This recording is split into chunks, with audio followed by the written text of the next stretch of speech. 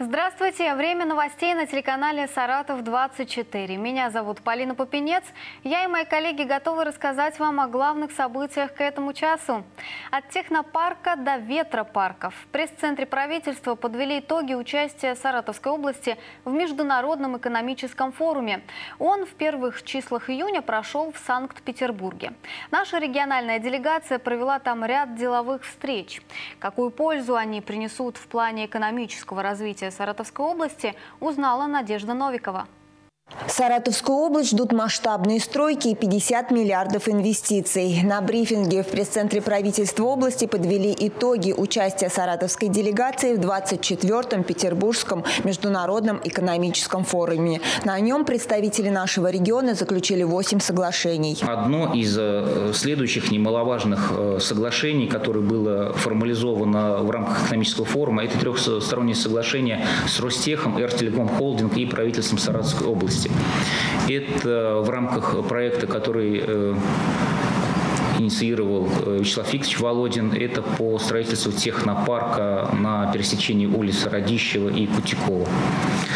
Э, работы идут. Это, мы рассчитываем, будет точкой для инноваций и вообще дополнительный импульс в развитии цифровизации э, нашего региона. На территорию Саратова будут привлечены крупные компании, в том числе те, которые связаны с альтернативной энергетикой. В ближайшее время в регионе планируется построить ветропарки и еще солнечные электростанции. По прогнозам экспертов, через пять лет Саратов в Приволжье станет центром альтернативной энергетики. Так как я представляю и э, Центр «Мой бизнес», отдельно мы взаимодействовали, работали по малому и среднему предпринимательству, в том числе в рамках работы ассоциации.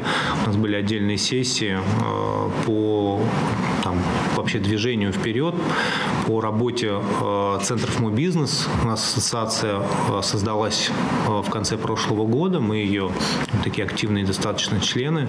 Кстати, на самом форуме саратовская делегация не выставила свой стенд из-за финансовой составляющей. Минимальная стоимость площадки – 16 миллионов рублей. Так что Наша делегация ограничилась там проведением деловых встреч. Надежда Новикова, Роман Шильдяев, Саратов, 24. По ровным тротуарам в Ершове готовятся к масштабному ремонту. Приводить в порядок будут пешеходные дорожки. Местные жители обратились за помощью к депутату Госдумы. Николай Панков побывал в районе и пообщался с людьми. Отремонтировать планируют тротуары на пяти улицах. Кроме того, возьмутся и за проезжую часть. Павел Фитилев расскажет подробности. А жители вот аж оттуда, где мы вышли, ходят сюда, вот она школа здесь, да, и да. зимой, и осенью. Садик. Идти местным жителям приходится по проезжей части. Тротуара, который бы вел к школе и детскому саду, здесь нет. В этом убедился и депутат Госдумы Николай Панков. Политик пообещал помочь в решении проблемы. И мы с вами в этом году в Ершове всю центральную часть и все подходы, не только центральную часть, а, так скажем, подходы к школам, к больницам, к детским садикам будем делать и сделаем. И плюс еще это нам позволит соединять а, отдельные микрорайоны а, к городской э, части и городской среде, а, потому что они сегодня оторваны, да, то есть нет тротуаров, дороги разбиты. В этом году планируют отремонтировать тротуары на пяти улицах в Ершове. По словам Николая Панкова, работы должны проводиться комплексно. Ремонтировать нужно не только пешеходные зоны, но и проезжую часть, подчеркнул депутат. Поэтому в программу по ремонту также попадут улицы Московская, Ломоносовская, Ломоносова и путепровод через железную дорогу, который соединяет две части города. На которые никогда не хватает да, да, средств, да, внимания, да, вот потому что... Все, да. То есть фактически соединяются здесь все части города да, это безопасность, потому да, что путепровод да, это... И никак, и никак его не перейдешь, да, то есть по трассе нельзя, Конечно. движение большое, вот мы стоим, вы посмотрите, вот люди идут, если, транспорт да, движется. Если летом еще как-то да, тропинка, да, то зимой да, здесь то зимой же все заносится, и люди да. уже в темное время суток идут по э, проезжей части, а на проезжей части тоже гололед. При выборе адресов для ремонта решающую роль играет мнение людей. По словам Николая Панкова, созданы общественные советы, инструменты, которые помогут контролировать качество выполняемых работ. Также еще одна задача, по мнению политика, обустроить все подходы к социально важным объектам. Павел Фитилев, Олег Буланов, Саратов, 24. В регионе готовится к началу купального сезона. Ведется работа по приемке пляжей. Проверяется береговая линия, рельеф дна, наличие оборудованных мест детского отдыха, медицинских и спасательных постов. Все подробности узнаем в нашей еженедельной рубрике МЧС. Слово Натальи Куличенковой, начальнику пресс-службы ведомства. Спасибо, Полина. Обязательно поговорим о пляжах, а начнем с оперативной информации. Неделя была насыщенной. Сразу два происшествия, связанных с бытовым газом, произошло за неделю в регионе – в Энгельсе и Ртищеве. В обоих случаях многоквартирные жилые дома. В Энгельсе пожара не было, пострадал мужчина. В Ртищеве в результате хлопка загорелась квартира. Также пострадал один мужчина. Все подробности случившегося выясняют следственные органы.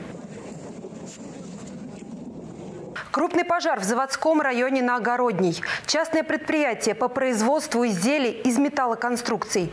Проводились сварочные работы на фасаде здания. Загорелся утеплитель. Огонь ушел на кровлю цеха. Пожарно-спасательные подразделения реагировали по повышенному номеру вызова. Проводилась эвакуация персонала, а также воздушных баллонов, хранящихся на предприятии. Площадь пожара составила 400 квадратных метров. Жертв нет. Всего в области должны открыться 110 пляжей. В основном это пляжи Турбас и Бас отдыха. 17 объектов – это муниципальные пляжи. На этой неделе инспекторы ГИМС приняли городские пляжи в Хвалынске и Энгельсе. Жары еще нет, но Энгельский пляж уже готов к приему отдыхающих. Необходимые документы готовы. Дно обследовано водолазами. Температура воды, по словам директора пляжа, достигает 18 градусов. Это норма. Ждут вердикта от проверяющих органов. И до сих пор идет а, очистка а, береговой полосы от камыша, потому что вода постепенно а, уходит. Подъем воды был очень высокий, половина земельного участка была затоплена. Сейчас идет благоустройство, у нас пляж готов полностью к работе. Первым делом инспекторы ГИМС проверяют наличие детского лягушатника, а также спасательных средств и буйков. Заглянули в медпункт, пообщались с врачом, посмотрели наличие и сроков годности необходимых медикаментов. Спасатели Спасателей на пляже по правилам должно быть не менее трех. Здесь же дежурят пять. На каждом из четырех участков пляжа также ведется патрулирование с воды. И спасатели, и гребки стоят, и места для переодевания, и э, лавочки для отдыха, для мытья ног места оборудованы.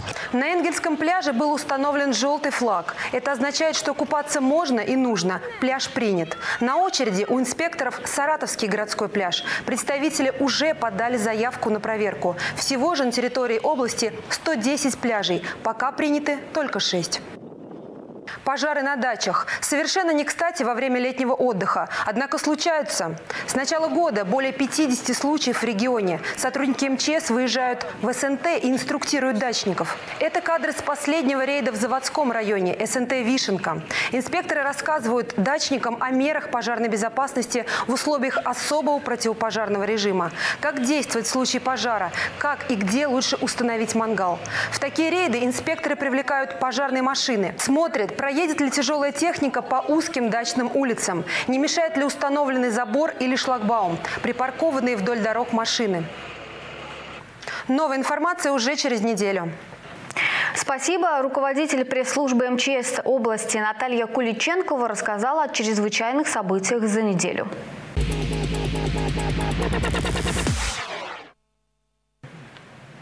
Жаловаться можно. Продолжает работать народная приемная «Саратов-24». О самых вопиющих проблемах мы рассказываем в эфире, а полный перечень обращений будет опубликован в ближайшем выпуске газеты «Провинциальный телеграф». Кстати, теперь эту рубрику мы делаем совместно со специалистами Центра управления регионом. Слово его представителю Ксении Конновой. Она расскажет о главных проблемах жителей. Спасибо, Полина. На этой неделе через социальные сети и платформу обратной связи в ЦУР поступило более тысячи сообщений от жителей Саратовской области. Впервые за долгое время вопросы вакцинации от коронавируса переместились с первой позиции на вторую. Ну а главными темами стали ремонт тротуаров и ливневой канализации. Это вполне ожидаемо, учитывая сильный дождь, который прошел во вторник. Топ-3 на этой неделе замыкают вопросы благоустройства. Горожане хотели видеть улицы и парки чистыми и ухоженными. Что удалось сделать, сейчас расскажем. Несколько Несколько дней улица Тульская больше напоминала обмелевшую реку. Устранять порыв на водосетях коммунальщики не торопились. Об аварии местные жители написали в соцсети «Одноклассники». Специалисты ЦУР жалобу зафиксировали и направили в коммунальные службы. Уже на следующий день повреждения ликвидировали. Как выяснилось, причиной коммунального ЧП стал бордюр, который кто-то бросил в колодец. А вот в Балакове свою энергию горожане предпочли истратить в действительно важное дело. Местная жительница в соцсети ВКонтакте сообщила, что в детском парке в песочнице только глина и земля. ЦУР жалобу проработал и отправил в местную администрацию. Реакция была быстрой. На следующий день песок завезли. Полина, передаю слово вам. Спасибо, Ксения. А теперь о жалобах, которые поступали в редакцию информационного агентства «Саратов-24». О них нам расскажет Роман Базан. Ром, здравствуй. Расскажи, на что жаловались телезрители. Здравствуй, Полин. Анна Сидорова просит помочь женщине с Чемодорова 5. Та уже полмесяца сидит во дворе дома с баулами, а ночует в подъезде. Ее выселили из квартиры, и теперь она обитает под лестницей. Куда обращаться, Анна не знает. Многодетный отец Дмитрий из Ртищева рассказал, что по соседству с ним живет женщина, таскает мусор в квартиру и частенько проявляет агрессию при встрече. Коммунальщики с чиновниками молчат, уверяет Дмитрий. Какие еще обращения были? Надежда Юрьевна рассказала, что затапливать шелковично. Вода льется по проезжей части уже несколько дней и, судя по запаху, говорит женщина, канализацию прорвала. На остановке невозможно стоять, брызги от машин и вонь. Еще одно видео прислали жители Заводского у 28-го дома, что на пятом Нагорном проезде собаки захватили двор. Очевидцы сообщили, что свора загрызла кошку. В Дорстрой обращались, но те молчат. Спасибо, Рома. Я напоминаю о жалобах телезрителей. Читайте в новом выпуске газеты «Провинциальный телеграф». Он появится в продаже в ближайший вторник. Мы ждем от вас новые обращения. Если есть возможность их проиллюстрировать, мы будем только рады.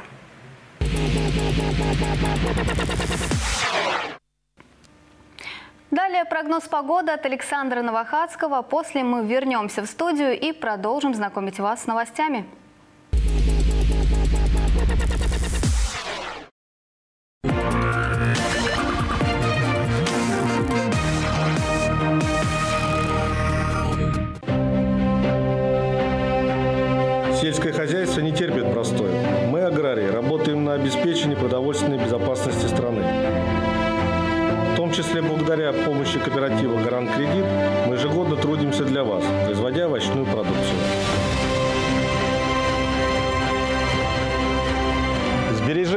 Вложенные в сельское хозяйство, эффективно используются и могут приносить стабильные доходы.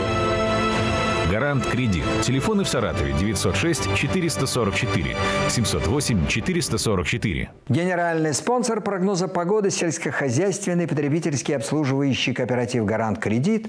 Удобные и выгодные кооперативные программы по сбережениям. Здравствуйте! В субботу, 12 июня, в День России, в Марксе, Балашове, Хвалынске, Алгае, Перелюбе, Балакове переменная облачность. Местами возможен дождь, грозой, кое-где туман. Ветер южный, порывистый. Днем до плюс 27 градусов, а ночью до плюс 16. Партнер прогноза погоды секонд-хенд «Вова». Брендовая одежда по доступным ценам. Секонд-хенд Вова. Внимание! Поступление новой летней коллекции и полное обновление товара каждую неделю. Проспект Строителей 8А. В Саратове и Энгельсе также возможен дождь с грозой и порывистый ветер. Температура днем до 24, а ночью до 18 выше 0. Атмосферное давление около 752 миллиметров ртутного столба. Вода в Волге плюс 17, плюс 18 градусов. Наши предки заметили, если пауки сильно работают, плетут паутину в этот день, значит погода изменится. А спонсор прогноза погоды – рекламное агентство «Наше время в наших делах». Двигатель вашего бизнеса. Всем добра, здоровья и терпения. До встречи. Рекламное агентство «Наше время» в наших делах. Мы лидеры на рынке продвижения товаров и услуг в городе Балакова. К нам прислушиваются. Нас цитируют. Мы всегда на виду. А значит, о вас узнает весь регион. Наше время в наших делах – двигатель вашего бизнеса. Телефон 32 61 97.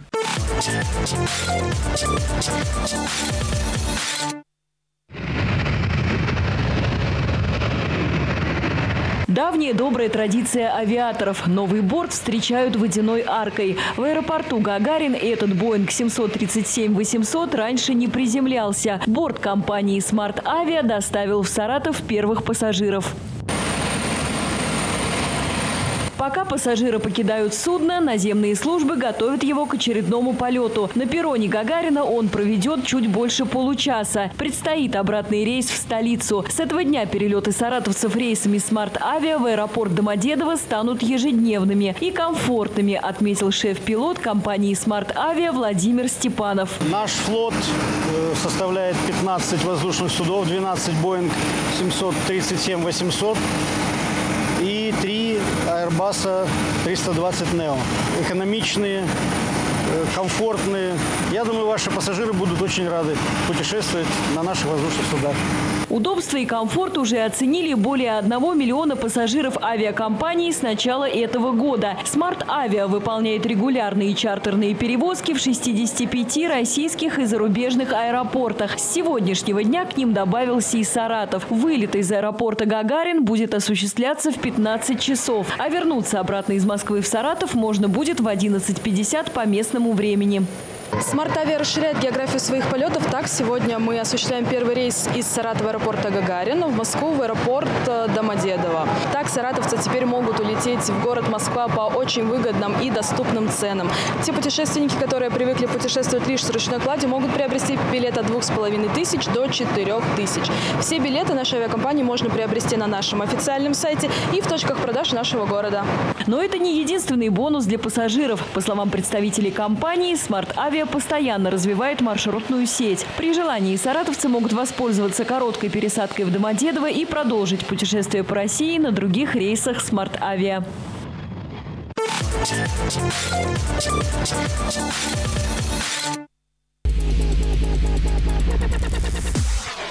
Подвели итоги научных дискуссий. В Саратовской юридической академии завершился первый международный юридический форум.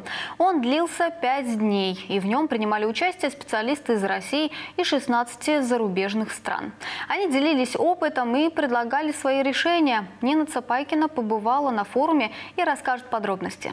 Одной из заключительных площадок международного форума в Саратовской юридической академии говорят о защите прав и интересов несовершеннолетних. В этом вопросе, уверены эксперты, органам прокуратуры и Министерству просвещения нужно работать совместно. Сессия признана стать одной из эффективных форм по проработке актуальных вопросов прокурорского надзора в сфере защиты прав несовершеннолетних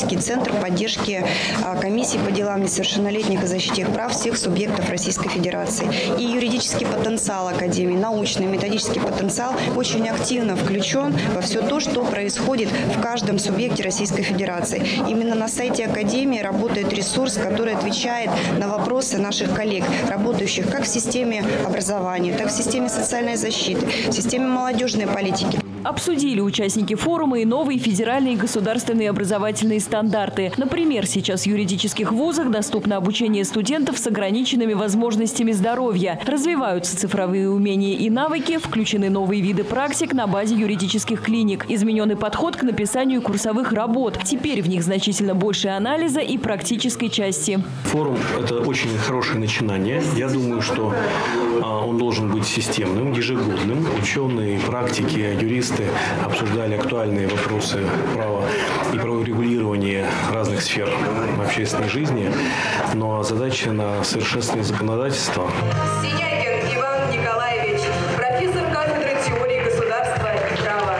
Многих преподавателей и сотрудников вуза за достижения в науке, образовании и других направлениях деятельности отметили государственными и ведомственными наградами. Напомню, первый Саратовский международный юридический форум проходил в рамках празднования 90-летия вуза. 15 отраслевых площадок собрали почти тысячу участников со всей России и 16 стран.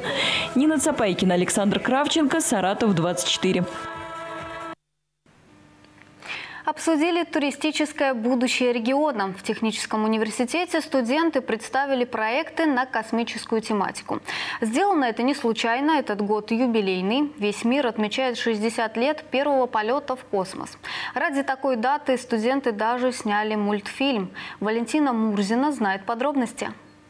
Это, так скажем, музейный экспонат. Вы простите, что я вас так назвала, Владимир Иванович. Владимир Иванович тот самый человек, который осуществлял запуск 12 апреля 1961 года, когда Юрий Алексеевич отправился в космос. Вот в такой дружеской атмосфере за круглым столом ветераны и студенты. Говорят про первый полет человека в космос, преемственность поколений и Саратов как центр притяжения. Заведующая Народным музеем Юрия Гагарина Инна Буйкевич отмечает, место встречи выбрано не случайно. Туристы и жители города все больше интересуются космической тематикой. Само название этой площадки круглого стола – Саратов – центр притяжения. Ведь именно Саратов притянул космонавтов. Это и популяризация и города Саратова, и всех жителей, и тех людей, которые связаны с Саратовом. А это же не только, как мы сейчас говорим, о космонавтах. Сколько художников, сколько писателей, сколько э, артистов у нас вышло из Саратова. На большом экране мультфильм о жизни Юрия Гагарина. Он полностью нарисован и озвучен учениками младших классов разных школ. Такие проекты не только увлекают, но и дают возможность получить знания в интересной форме. Этим летом творческая молодежь области сможет проявить себя и подать заявки на конкурс творческих работ, посвященных 60-летию полета человека в космос. Очень важно, что сегодня в юбилейный год космонавтики а, мы запускаем этот конкурс, чтобы каждый житель города Саратова сегодня, во-первых, знал о тех изменениях, которые произошли. Второе, посетил парк покорителей космоса. Третье, через свое сердце еще раз пропустил эту важную историю, историю покорения космоса. Она уникальная для нашего города, для нашей области, для нашей страны, для всего мира. Чтобы принять участие в конкурсе, нужно подать заявку на сайте живемвслух.рф до 15 сентября. Лучшие работы будут размещены на площадках города, на сайте и в социальных сетях проекта. А победители и участники посетят парк покорителей космоса и познакомятся с новой инфраструктурой на месте приземления Юрия Гагарина. Валентина Мурзина, Алексей Чудин, Саратов, 24. О главном к этому часу все. Ищите нас также в соцсетях. Мы есть и в Инстаграм. А впереди вас ждет встреча с главным редактором Ильей Леонтьевым в рубрике «Постскриптум».